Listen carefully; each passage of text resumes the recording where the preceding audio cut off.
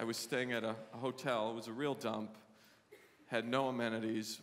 I called to get a wake up call. The voice on the other end actually said, You make $16,000 a year and you haven't had a decent date in months.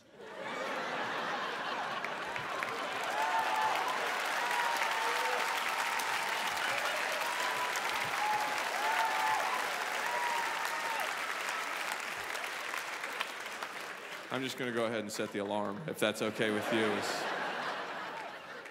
Is that going to be okay with you, Mom, if I just go ahead and.